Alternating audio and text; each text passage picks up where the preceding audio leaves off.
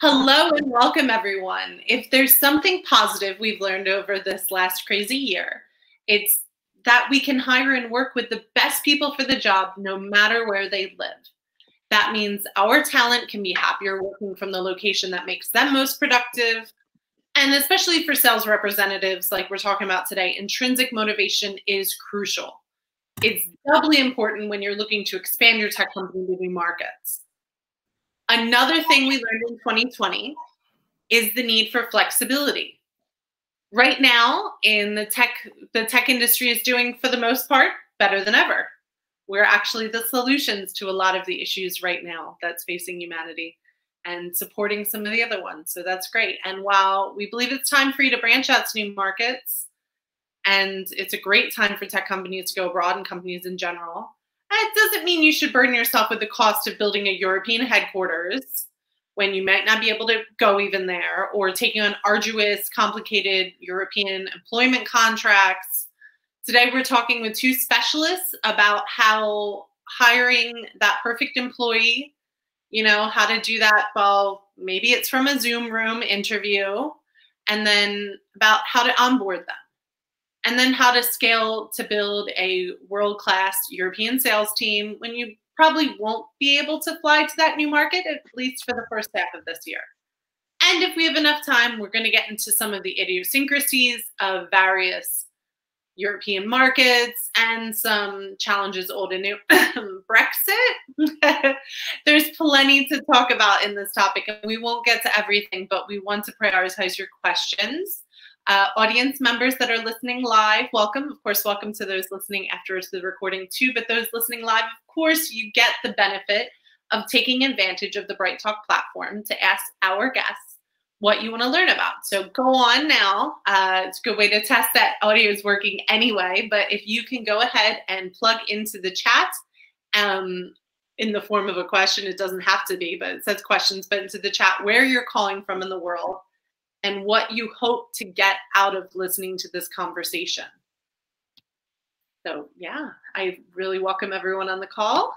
And I'm your host, Jennifer Riggins. In this episode of FYI Finding Your Influence, we are talking to Diane Albano, the CRO of Globalization Partners, and Rick Pozzoli, Pozzoli, founder and CEO of Salesforce Europe, who is also, just caveat, one of my clients make sure to listen to our last episode when Rick was first on with Intralink's Alan Mockridge, where we talk about how to optimize your remote sales in Europe and Asia.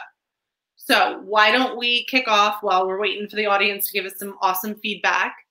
And if you can both introduce yourselves and tell the audience really briefly about your background, and then share just a little bit about how your organizations specifically help companies capture the best international talent no matter where they live. So, Diane, can you please start? Welcome. Thank you, Jennifer. I'm really happy to be here. I, as said, um, my name is Diane Albano, and I'm from Globalization Partners. A lot of you may have or may not have heard about Globalization Partners. We were formed as a company nine years ago by our founder, Nicole Sahin, who had this great idea that we could help companies expand globally, hire anyone, anywhere, without the hassle um, and without all the complication of setting up an entity in a country. So she went ahead starting in 2012 and set up entities in now nearly 75 countries where we can hire people on behalf of the companies that want to expand globally.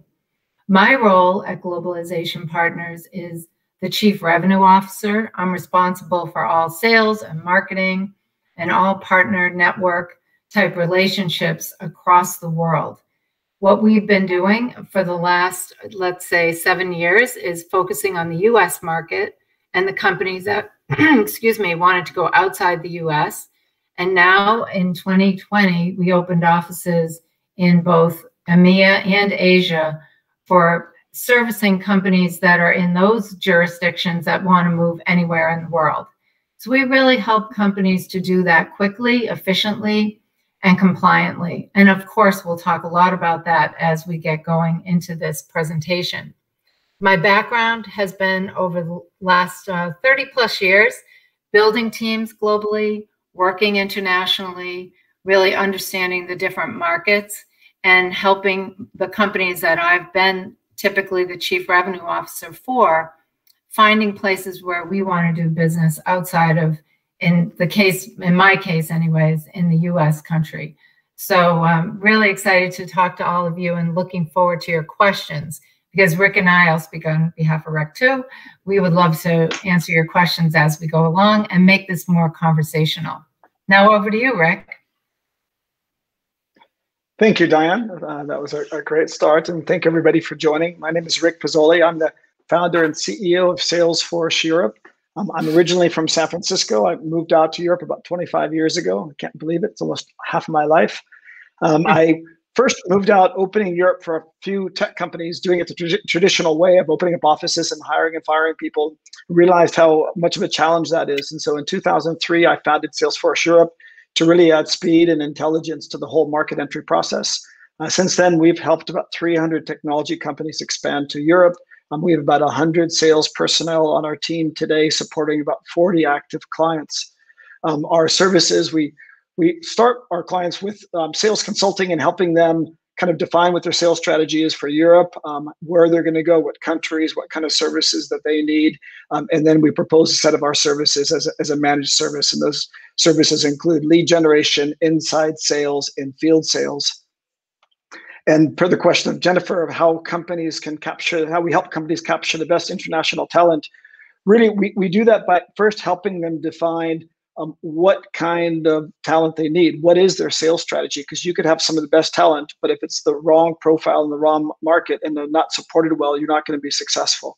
So we do a lot of work with our clients up front to define what that sales strategy is, how we can replicate their success in their home market, whether it's uh, from Europe to Europe, so Spain to Europe or the US to Europe.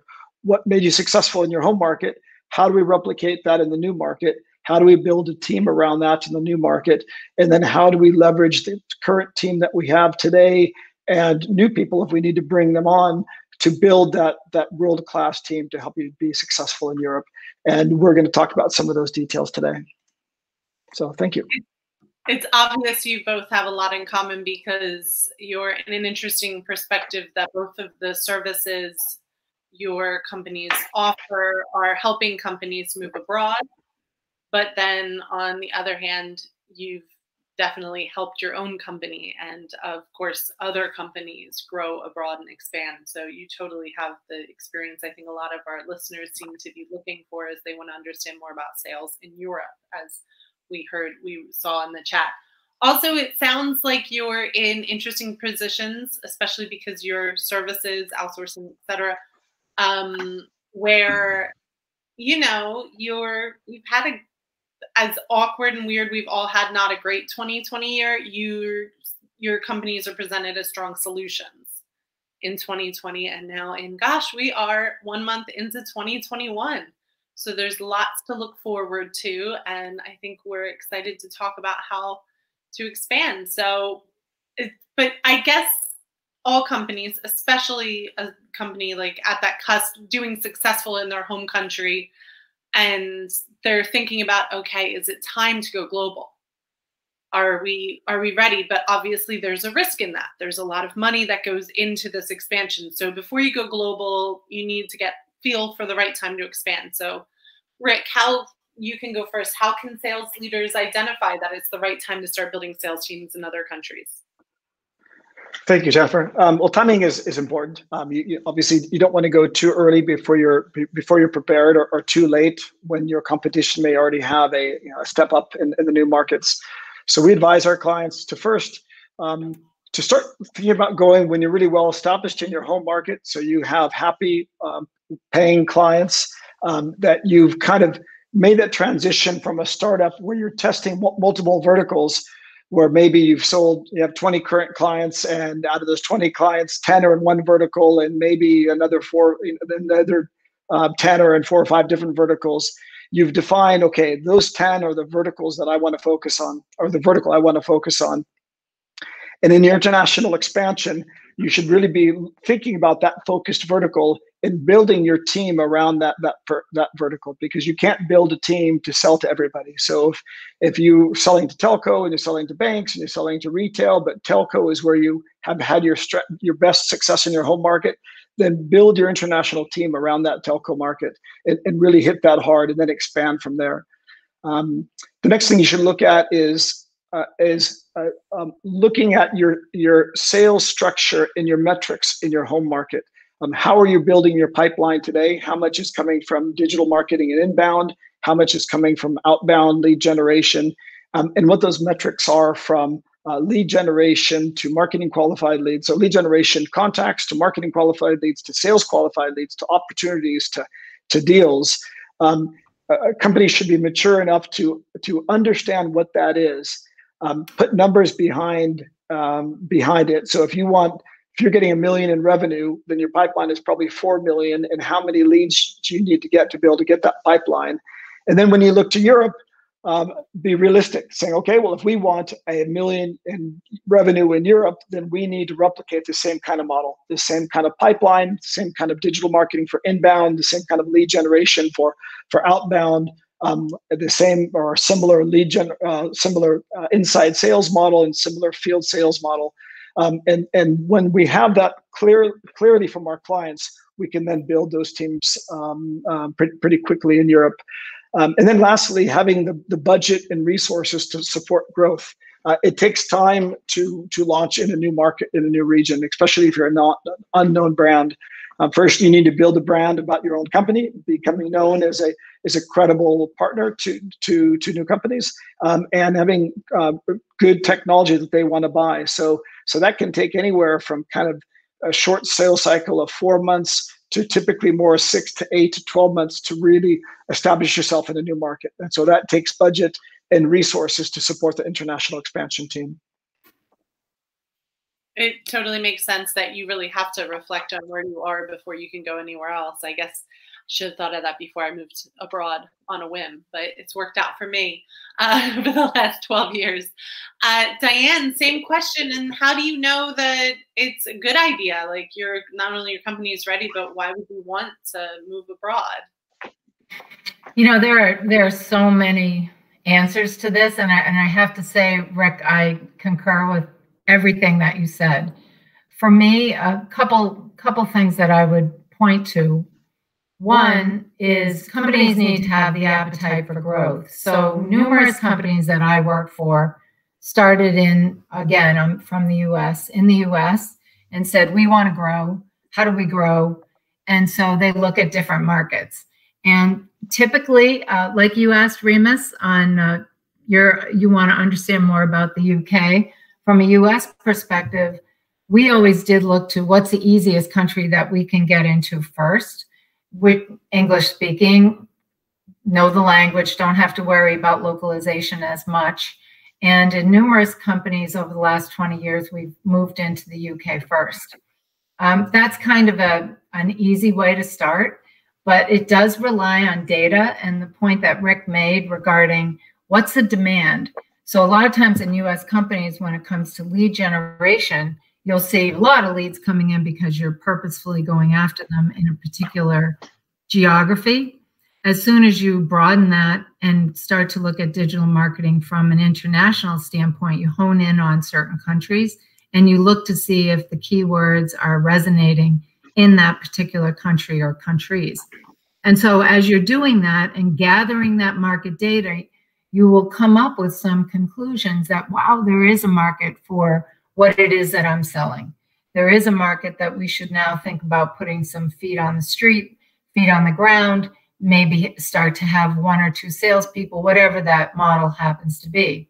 So even in the company that I'm with, when I was getting hired, the CEO said, we want to go, we want to go outside the US, we want to grow internationally.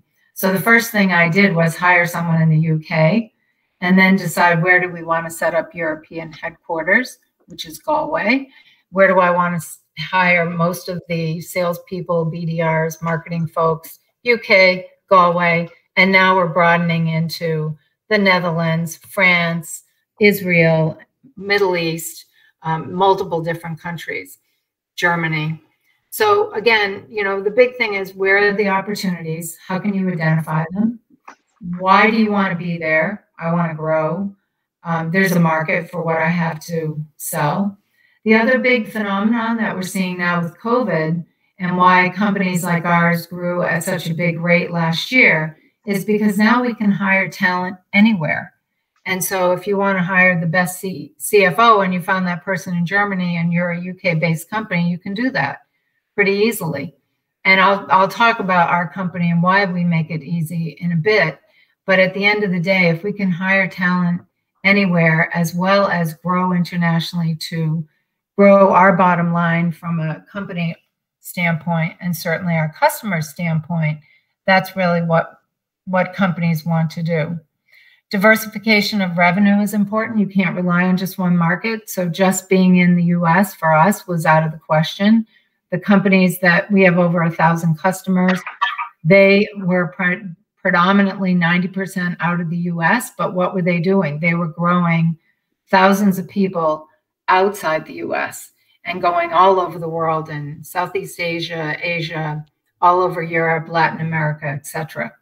So being able to uh, understand the markets that you want to be in and doing the market research behind all of that is really the backbone of success. So that's in a nutshell, but we'll get into a lot more of the details as we get into the talk here. Thanks, Jennifer. thank you both. First and foremost, to acknowledge uh, the questions here. If we can go on mute when we're not talking, it'd be great. I'm feeling hearing some background music. I just wanted to. Someone said great conversation. Thanks. I think they are doing great too. So thank you. Um, and are we showing video? No, we're not. It's a new part of the BrightTalk platform, so we weren't really sure about it yet. But also, let's be serious. After all these this year we're all on Zoom burnout. So it's nice to just have a conversation and also to give y'all the listeners the time to, you know, do other stuff while you're listening to this, like a podcast. Walk around, move around the house if you want to while listening to this. It's a good way to learn is when you're actively doing something else. Like, let's be honest, our, either our houses are a lot cleaner or a lot dirtier right now because it's a good procrastination tool. So please do keep your questions coming in, um, and we will do our best to answer them in the next 40 or so minutes. So next up, Diane, why don't you start by you because you've done this before and you've you've alluded to that you often start with London, but how do you what type of market research do you do and how do you find that product market fit in an international market that when maybe you haven't been there and you certainly can't go there right now? Sure so again, you know, market research is really important. Um, we rely on it heavily, and we actually have a team of about 10 people in India who do a lot of our market research and help us with understanding markets to get into. So when we looked at about a year and a half ago when I started, when we looked at where do we want to go, we found that the mecca for the biggest amount of demand initially would be the UK. So that's why we went into the UK. But for some companies, it could be Singapore, it could be China, it could be Japan, it could be Spain, it could be anywhere. But getting some of that market research to see where the products and services res- resonate is a really important first step. Or, as I said, and Rick said it too, if we start to see demand, because leads will come in, people will find you, whether or not you're targeting a market. And all of a sudden, if you have an influx of leads from a particular country, that may be one worth looking at and one worth investing in. And so looking at, um, yes, we want to set up a big and a big um, set of people in Taiwan, or we want to set up a group of developers in Poland, whatever it happens to be. Uh, those are the types of things that you kind of look at as you're initially spreading your wings and going outside your your home country being able to do a SWOT analysis and, and really saying what are the strengths, weaknesses, opportunities, threats in those particular markets is also a way to just do the due diligence behind that maybe feeling that you have so that it's really data driven. It's very important to be data driven. And then sometimes there are markets that you just have, you do have a feeling. You say, you know what, I think this is going to play in Latin America. I want to get into Brazil. This is a service that really will benefit the that country or that set of companies that are in Brazil. And so you look to expansion there. But that's essentially it. I think I answered a little bit of this question in the first question too. So thanks, Jennifer. Yeah, absolutely. And I think it's definitely a everyone thinks of London first, which does have its benefits, but also we have to know that not all country and not all companies on the call are American or British companies. So maybe if they're a Portuguese company, they want to target Brazil, or a, a Latin American company wants to target Spain. It could be all over. Even language can be a barrier, but can also be an inspiration to where to go. And also, exactly. people have teammates or they want to recruit maybe they do it backwards and they find the perfect teammate. And they're like that's enough to want to start the business there. And that's the dream i guess to be that employee right? So, right. Yeah for sure. So rick how do you help advise people on which country to enter first? Do they usually know? Do they want help in finding that? How do they usually decide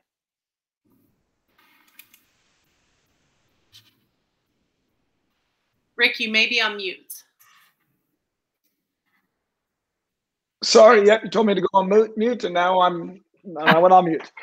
That is uh, catchphrase 2020. That's okay. You're on mute. That's right. That's right. Thank you. Thank you. I would have just kept on talking. Um, so, so yeah, thank you, Diane, on the question of, of the UK because it, it it does always come up, and and most US companies do ask for the UK first, and, and, most European companies ask for the UK first. But both sides really look to the UK as kind of a, um, a stepping stone for their growth. Um, you know, US, it's one hour closer as far as time zone, it's English friendly.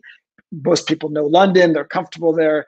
Um, and then use that as the hub to, to move to Europe. And, and that's great. For most companies, it still works fine. Um, and European companies look for the same. They say, well, I can start in London um, I might be a Spanish company or French or German. Um, I speak English, so that's the next natural step. And then from there, I can go to Europe, and from there, eventually, I can go to the US. And, and that's great, especially if you're using it as an international hub like Globalization Partners is, and there's a lot of international companies there, so it's great from for your sales. Um, but we also have to think about it's it's because everybody's going there first. You might have three competitors in your home market, let's say the US. And if you're a Spanish company, you might have three European competitors. All six might be in, in the UK, in London. So if you're calling on London banks or retail or whatever it is, uh, it might be the most competitive city in the entire world for your services. And so London is not always the, the best place to start. So it, it is important to think before you jump. Um, and, and, and, do a little bit of research. And that can be using a third party research company. Um, there's some great companies in, in, India and around that can do that market research. Um, we do some uh, market research for our clients as well. But we, we typically start by really asking them to do an internal analysis of what they're uh, seeing in the market. So where are they getting leads from from the market? Do they have current clients in Europe? And if so, where do they have those current clients? And are those good, healthy clients? Are they well-paying clients? What what verticals are they coming from? Um, where are the leads coming from? And do an analysis of those leads. And so, um, what are your conversion rates of leads in the U.S. compared to leads in Europe? And then within Europe, what are your conversion rates of of leads from France, Germany, Spain, Italy? And and do an analysis of why you're winning those and why you're not um, and, and maybe one of the reasons you're not is just not having a local presence, possibly in the UK, or local presence plus local language in, in, in France, Germany, Spain, Italy, other markets where, where, where having a local language and local presence is really going to help the process. Um, so we ask our clients to do that analysis. We do it with them. Look at the current clients, look at the leads, look at that close ratio. Um, we also ask them to look at their competition. Um, so the main competition in the US and Europe where are they today and where do they have offices and where do they have clients if, if they can find that. Um, look at the the language capabilities of the company. Do they have products only in english or are their products been localized? And do they have sales and marketing tools in, other languages as well? If, if everything is only in english or they're in their let's say english and french or english um, american english um, going to europe or let's say a spanish company having spanish and, and english then you are going to be limited to English friendly countries, which are going to be the UK, Ireland, Benelux, and the Nordics. Um, so maybe if you don't need to be in London, maybe the Nordics or the Benelux are the best market to start in to get that first foothold to, to prove the market because you don't want to start in a market like the UK and find that so competitive that you don't have a successful experience um, and then you have to pull out or you as the cro or the vp of europe lose your job because the, the job was, wasn't well done. So so that's an, important to do the analysis before you go in look at regulatory issues. Is there anything from a regulatory perspective that's going to limit you or, or support one market or another? So if, if you're selling hardware today um, uk might not be the best market because if you're landing there and you're going to be selling hardware from the UK to the rest of Europe, then you might be hit with some, some new taxes with, with Brexit. From a software and SaaS perspective, we have not seen any impact. So, um, so uh, the startups or SaaS companies that are, that are either coming from London or moving or looking to land in London, we, have, we don't see that they've been impacted by Brexit. Um, and then we, we ask our clients to, then we work with our clients to prioritize those markets. Um, and and choose maybe three or four to test. Um, and we can test by uh, doing some um, managed lead generation or inside sales or field sales activities into those markets, see what the return is. Maybe we'll, we can launch uh, four half-time lead generation teams into four different markets, see where the uh, the best hit rate is, and then over three to six months, focus our efforts down on two or three leading markets and, and really invest in those markets for growth. So the I think the point is is to do that research, um, you know, look internally what's happening, make a, a really good plan, and build your team around that plan, and then launch the effort, and then really manage your KPIs moving forward. Um, it, KPIs don't necessarily have to be revenue; they can be um, how many SQLs are we are we de- delivering, and, and how well are those SQLs delivering to opportunities and proposals, et cetera. So there's a lot of um, earlier milestones uh, to to manage before you actually get revenue to see which markets are working well. Thank you so much, Rick and Diane. Uh, we have some questions from the audience. Thank you, audience. I love when we get lots of questions. I'm going to go with the middle one first. Uh, someone said, How much does the fiscality, which I think actually means wink wink taxation at times in different countries, and the currency of a country condition the choice in setting a headquarters in reference to reception of the country market. Like it could be London, Dublin's a new hotspot because it's still in the EU, Luxembourg, which, you know, maybe is a tax haven sometimes, Berlin for Europe, things like that. How does that factor in? I'll let it free for all, whoever wants to talk first. Yeah, I can talk to that because um, it's something that our clients ask us all the time. It's something that we're specialists in because we've set up, as I mentioned, 72 countries on behalf of our clients. So if you think about what it is that we offer at Globalization Partners, it's so that companies can move into any country that they want pretty seamlessly um, through compliance of legal, tax, etc. challenges that often um, many companies run into when they say, "Oh, we want to be in this particular country." So our customers predominantly are outside of UK. I mean, we have a, a couple hundred in the UK. We have a couple hundred in um, Canada on behalf of our customers, but really we're spread out all across the world. And a lot of very similar to what Rick has been talking about and I've been talking about, as you start to decide where you want to be, and initially you're looking at sort of going in, stepping into these various different countries to see if your products and services serve that market.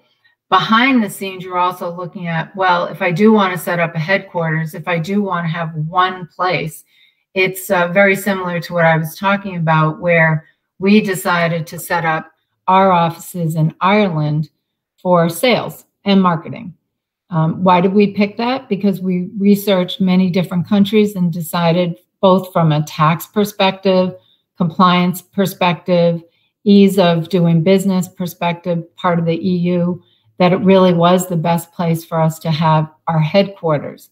Similarly, we looked at many different locations in Asia and settled on Singapore. It was very centrally located, it's very agnostic.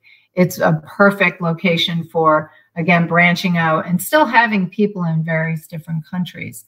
But it does definitely, when you look at something like headquarters, it's different than putting in and starting markets with a few salespeople or, or a few whatever um, finance people, or maybe you want to have developers whatever the case may be. With uh, globalization partners, one thing that happens that's quite different is we take on all the burden.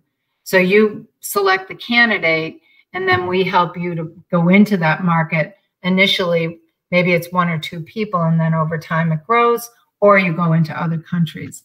So hopefully that did answer the question.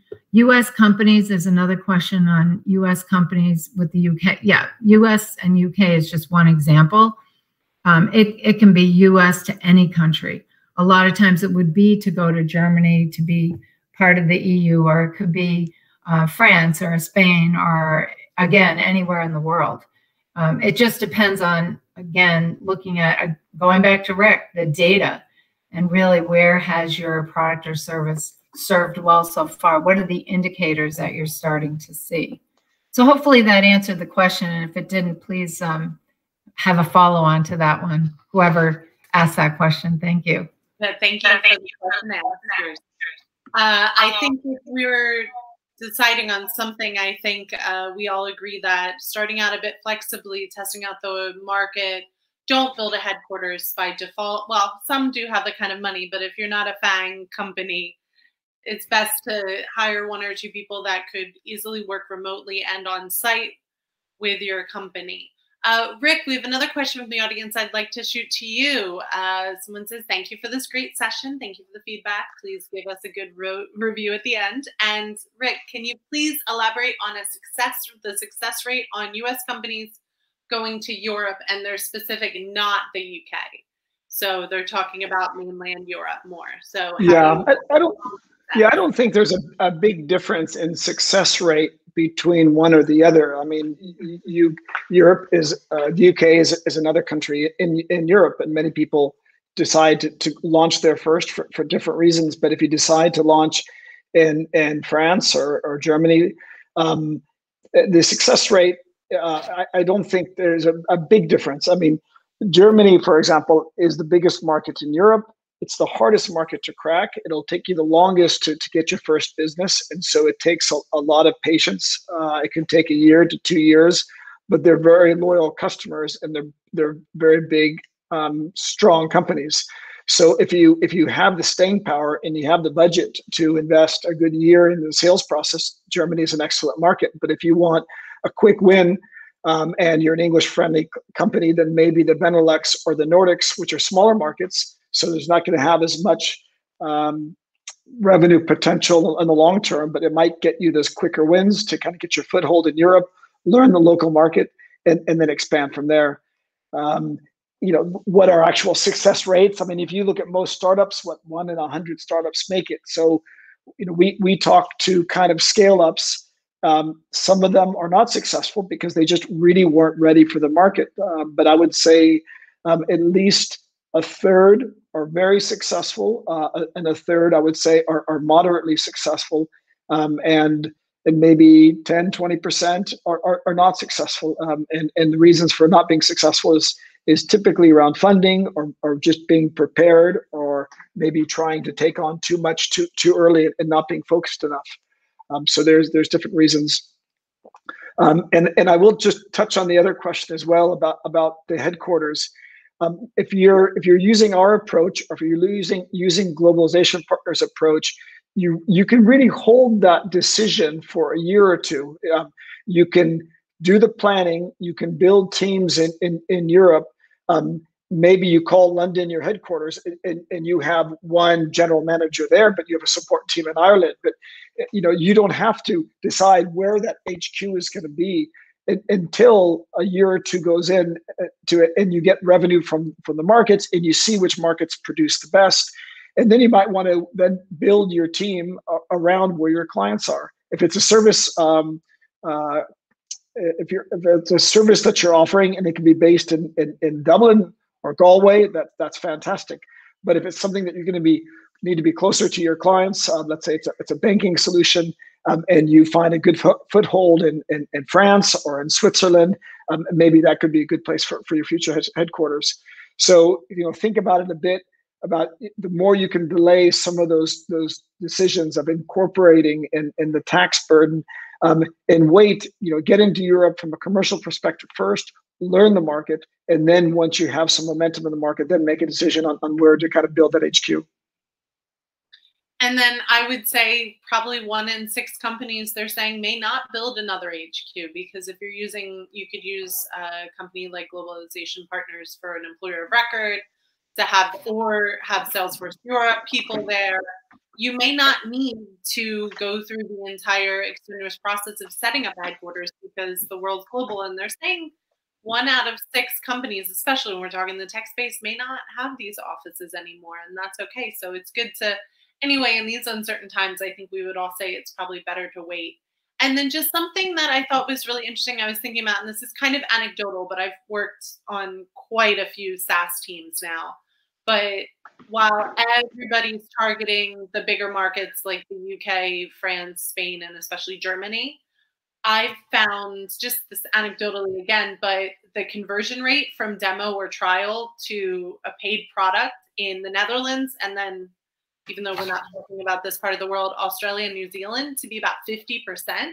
So while the Netherlands is a tiny little country, I think it's like 3 million people, I've seen just again anecdotally, but like some really interesting conversion rates. So don't always think you have to go for the biggest because maybe you can be the biggest company in a small country. So it's definitely about being flexible and just reading that data, like everyone keeps saying. So, Diane, well, both Diane and Rick know this, but I usually the first employee to set up in a new country when you're talking about going abroad is most likely a sales representative, maybe a sales manager.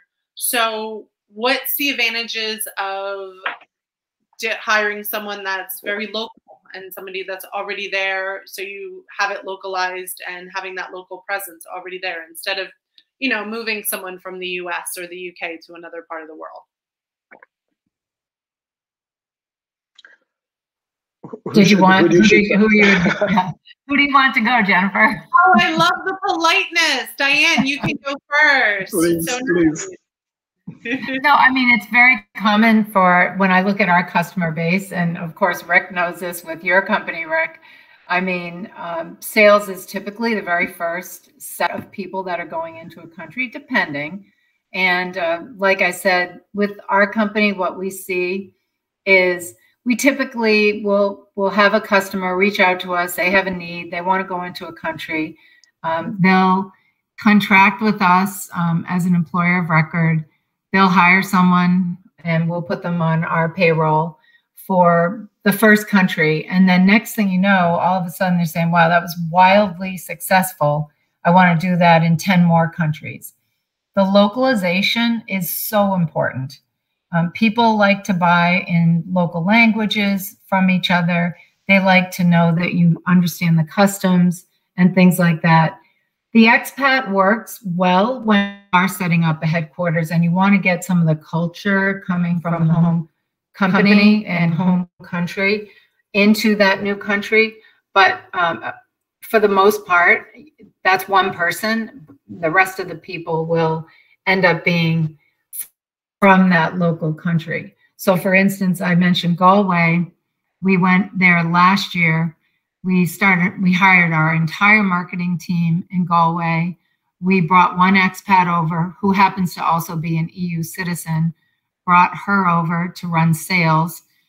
I did hire someone in the UK as well. And, and our, our, chief, chief technology, technology, officer has already, has already hired 30, 30 people, on the tech, on the tech side, Galway, and Galway and plans another 100. 100. So, so we like we the like the localization side of it. Side of it. We we think we that that's, think that really that's important, really important based on the based fact on the fact that we're working in 187, different countries, countries on behalf on behalf of our clients. We're hiring, we're hiring those, those kind of people. They're finding, They're finding talent, talent. We're hiring them for them in the, in respective, respective countries, countries, to do, to do the, business, business again, again, in the in local, local customs, customs, in the in local, local type, of tradition that would, ha- would happen in that country. country.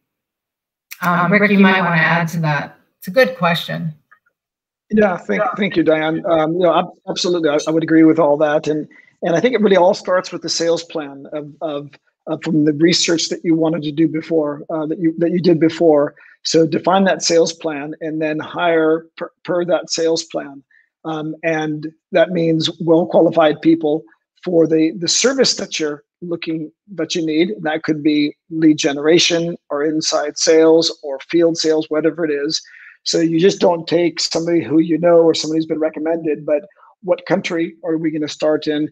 What service are we looking to deploy?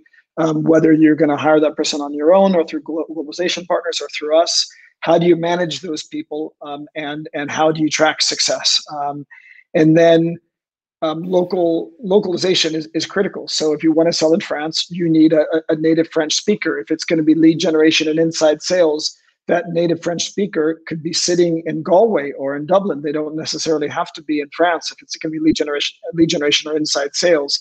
But if it's going to be enterprise sales where they're going to be meeting with the banks or the telcos or the big retailers, um, it's they really want to know that you live in the country. Um, and it's just a matter it's kind of showing your commitment so so even companies like hubspot um, they put most of their people in, in dublin and i believe that they've struggled a bit to close the bigger enterprise sales because they're doing most of it remotely and they're doing great on the mid-market but struggling a bit on on on, on enterprise and even salesforce.com they put they first put their big office in, in london and in dublin and then we're kind of late for putting offices in the rest of europe and and and they, they still have um, a heavy amount of their clients in the UK and Ireland, and, and now gaining quickly in the rest of Europe, and that's because they put offices locally.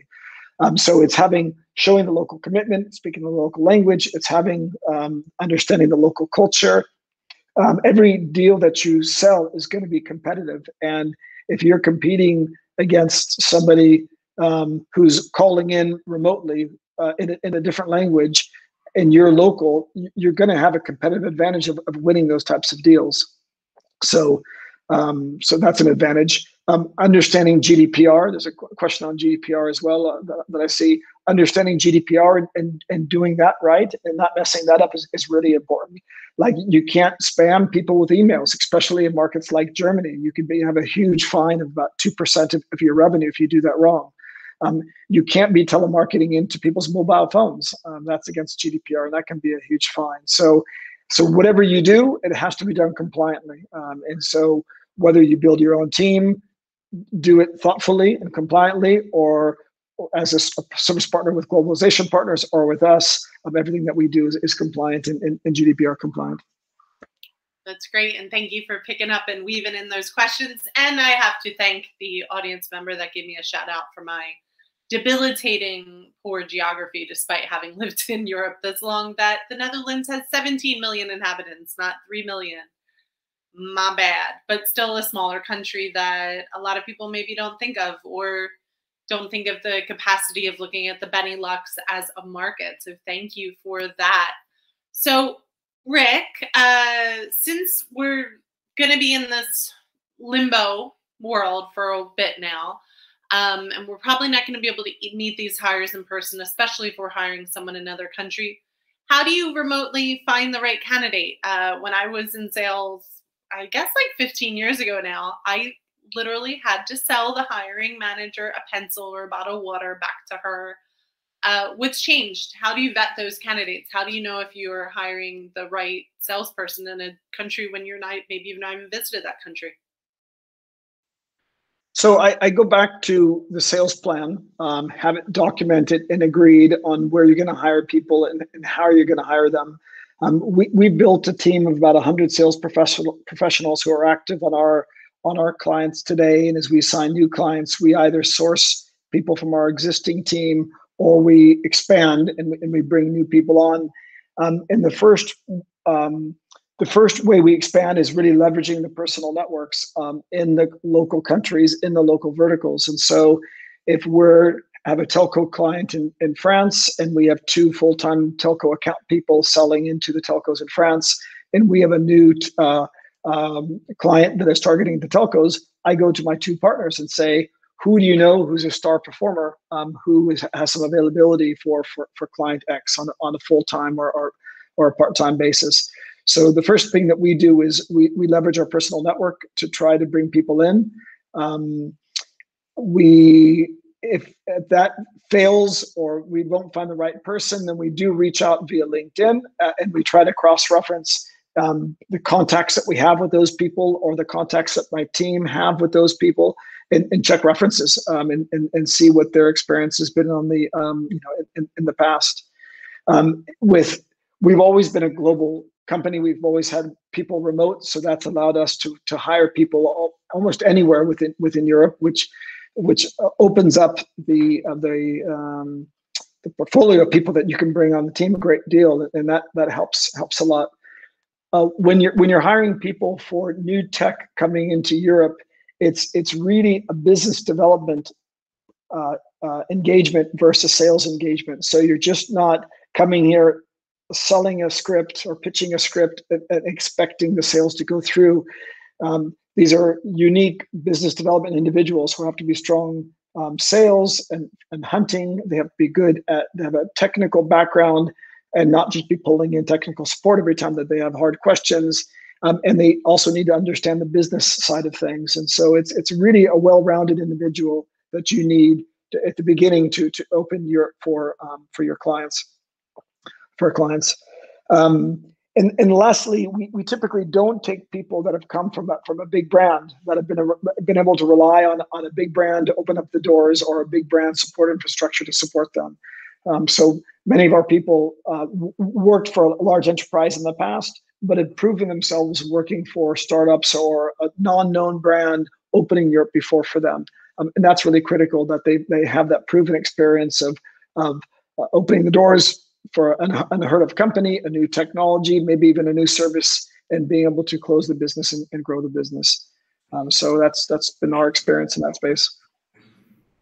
Great. And when someone's ready to hire that person, Diane, I understand Globalization Partners is kind of an alternative to setting up that arduous legal entity in a new country. Plus, also, let's be honest, we haven't even talked about this, but you kind of want to hire locally because a lot of countries' borders are shut, and there are a lot of visas are not happening for new jobs. So, uh, globalization partners is kind of an alternative to that. So, can you explain how an employer of record works and its advantages, and what parts of onboarding globalization partner does and doesn't? I sure will. so, so uh, the employer of record concept is still rather nascent in some parts of the world. I would say um, it's starting to get a little more mainstream and understood in the US. Um, we're doing a lot of marketing and, and a lot of work to get the word out through analysts and, and such all across the world. But it basically allows you to hire around the globe without setting up that legal entity. The EOR serves as a legal employer while you, as the company, manage the individual on a daily basis. Now, one thing that probably those of you who have not ventured out into setting up an entity, you just touched on a very good point, Jennifer. Um, with COVID, it is really difficult now. If you want to set up an entity in certain countries, for instance, you need to have a wet signature. So you have to travel, you have to be there, you have to be able to do that compliantly, etc., with a bank. Um, and with COVID, the travel restrictions have really curtailed that luckily, we have done all that hard work over the course of years, as I mentioned. And what an EOR does is number one, payroll. So we put the professional, that's what we call your employee, on a locally, our locally compliant payroll. The taxes, all the taxes, the tax filings, everything is done on behalf of that professional the benefits are competitive or compliant with the country because every single country has a different set of benefits that are required from statutory standpoint. And I might add that even before COVID, some countries like Brazil, China, and a couple others would take well over a year to set up if you wanted to have an entity in that particular country. The compliancy, the compliance factor uh, for having people in country is a huge piece as well. And by employer of record, we take care of that. Testing new markets, we, we both, Rick and I, have talked about that a lot throughout this talk. But testing the new markets and being able to do that e easily and finding out, well, it's, it's just not working in Greece. So we're going to move out of Greece and go to another country. I mean, that's a great way to test the product or service without a lot of all the work that it takes to set up an entity. The top talent, as I mentioned before, because of COVID too, the top talent situation has been huge. Being able to hire anyone anywhere for whatever positions it is that you're looking for is a very easy way to make that happen with an EOR platform. And, and the underlying point is the managing the risk. So there is very little risk in doing this, very short cost compared to setting up that compliant entity with the banking and the financial and having legal representation and all those other things that it takes to set up an entity. So it's a great alternative that many companies, as I mentioned, we have well over a thousand companies that have been working with us now over last few years, growing at 40%. Companies are looking at this as wow, this is a great way to move into that new market with very little headache. So that's the essence of it, Jennifer. I have to ask, are there other names it goes by? Or is employer of record the common term? Or maybe people know it as some other names that they'd be more familiar with?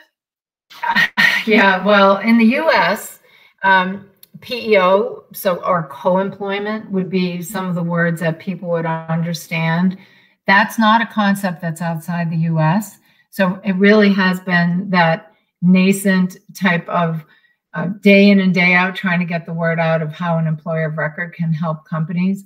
Once that happens and we break open and, and we do a lot of webinars, a lot of talks, a lot of marketing, um, companies are going, aha, what a great way to be able to move into a new country, hire someone, find that talent, and be able to get them on board in a matter of hours because again, they sign an MSA with us and we get the employment contract done and the person is able to work for them immediately.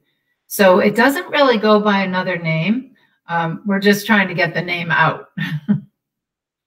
Fair enough. Yeah, you've spread in the word, but it, I think you're doing a pretty damn good job of it considering it sounds like people are probably finding you about how do I hire this person in this country?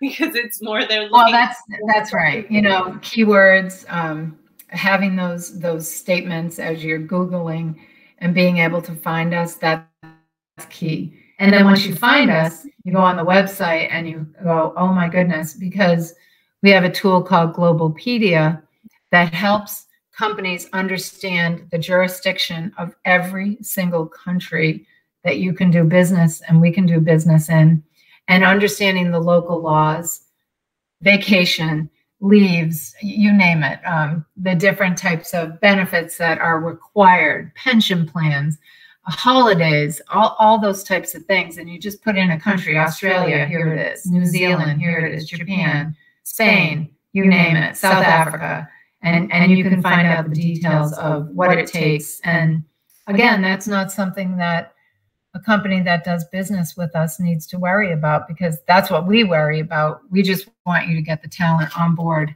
quickly so that you can test the market go about the business with um, as rick said business development understanding if there is a market etc absolutely. And we are starting to wind down but um, I just wanted to say another question from the audience. To reach top international or external sales talents, what do you recommend in terms of compensations, i.e., salary plus bonus or commissions plus bonus? What is the best approach per EU country? Not a light question. Um, no. at least one benefit when you're going with the EU country, you don't typically have to offer what the US typically looks at as salary perks because typically the amount of time off or your health care is part of it already. But that is certainly an interesting question. Diane, do you want to go on that one a bit? Oh, sure. I mean, every single country has sort of the bar of I want a senior salesperson, I want a junior salesperson, I want a business development rep, I want a partner manager.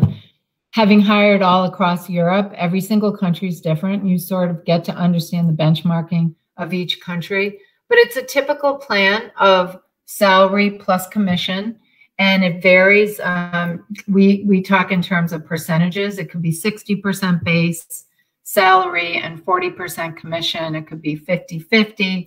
you know, all different mixtures.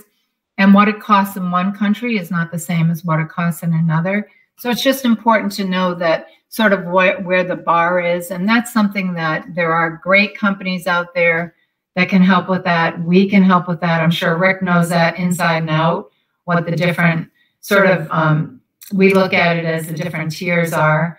Just like we do in the US, every single country has that same set of tiers. And so when we've hired now in Galway, we've hired in the UK, as I mentioned, we're in the Netherlands, um, we're in France, we're looking at people in Germany right now, in Middle East, Israel, um, Spain, Italy. Every single one of them is a little bit different, but all of them have the same thing. It's typically salary plus commission for sales. Right. Yeah. The only thing I would, I guess I would, yeah, just gonna say, the only thing I'd probably add to that is is understanding what what the revenue targets are, right? So um, if it's a uh, a field-based account exec who has a million euro in, in SaaS revenue, then those salaries and those commissions need, need to be need to fit your business model for for for that compensation level.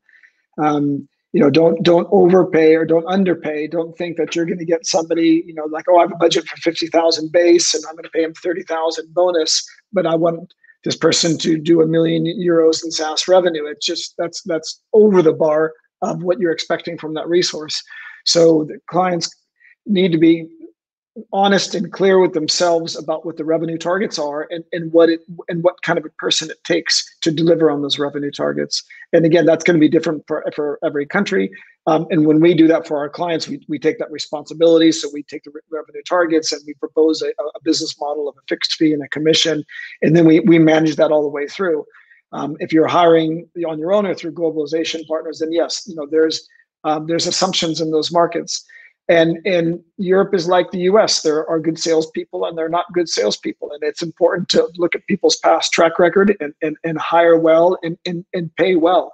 Uh, because if if if you're not paying well and and, and people see a, a better opportunity, they'll they'll take that better opportunity. So it's better to to have a the right competitive rate up front to make sure that the people you're getting on your team are, are the right people and, and stick with you in, in, in growing that business because what, what's hard, um, especially if, if you're hiring the first person and you don't have oversight on that person, if they go into the market and they start and they leave for any reason, um, and you don't have close control of that person or in the pipeline, that you will lose a lot of momentum in, in that market. So, um, you know, getting the right people, compensating them well, right, managing them well, right, and, and seeing those markets through to fruition, through through to revenue and revenue growth is is really important. And then as we're winding down, and we had so many other questions, but the audience provided great questions and y'all punted them really well, bring up different aspects. I guess let's just end on the note of why now? Why should people be feeling optimistic about the future and about looking to hire people and looking to expand your business? Diane, do you want to start? Yes, uh, I I think you know, we're going through a pandemic, we're going through tough times, um, no question about it. I think that we have to be realistic that business does go on and that people want to be employed, people want products and services, and that there's no reason to wait unless your financials say you cannot. It's important to jump ahead, and maybe it's to get a competitive edge and not to sit back and, and wait for things to change. They will change, change is inevitable. But I can tell you the customers that we brought on have not stood still. They are moving quickly. Um, we had almost 200 net new clients in Q4 alone. We had hundreds of new countries added from our existing clients. So people are not sitting still, they're still moving forward, Jennifer. Yeah, I, I, would I would agree, Diane. Exactly. It, you know, there there was a bit of a freeze at the beginning of 2020 with with the virus, and then people were cutting costs. In the same, we've seen a big boom Q3 and particularly Q4 of people getting off the sidelines and getting back into the market and and, and hitting the market hard. It's it's it's time to grow and and and tech um, is doing well. T- tech is is is um, addressing a, a, lot of issues in society today, and, and people are spending and and from a sales perspective, uh, it's it's almost actually easier to sell when people accept that you, you don't have to see them face to face. And so in the past, even if you lived on the outskirts of Paris and you needed to drive in the center of Paris for a meeting, that's that's a half a day or a full day. Now it takes an hour. So you could have six of those meetings now, where before you could have two of those meetings. So it, even senior field-based account executives who are mainly working from home um, and are now working remote, but you still need that senior person with the right network and the right experience. They're just much more efficient than they were before. So we're, we, we are seeing a lot of demand, and and and I think it's exciting, and I think a lot of people are, are realizing um, that they can work remotely, they can work remote uh, home uh, from home, and a lot of people are leaving the big cities, as, as, we all know, and moving to smaller towns and, and saying, hey, I can I can set up a small office in the small town and work from home. So I, I think that's going to have an interesting impact on, on society as well. Well said, Rick. Snap, snap. That was really good.